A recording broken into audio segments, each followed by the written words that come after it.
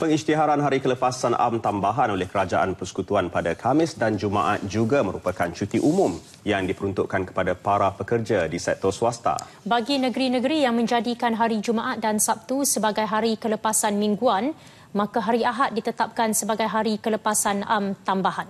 Menerusi kenyataan media Kementerian Sumber Manusia, perkara itu menurut Seksyen 60D kurungan 1 kurungan B Akta Kerja 1955. Justru para majikan boleh menggantikan mana-mana hari lain sebagai cuti umum bergaji kepada para pekerja.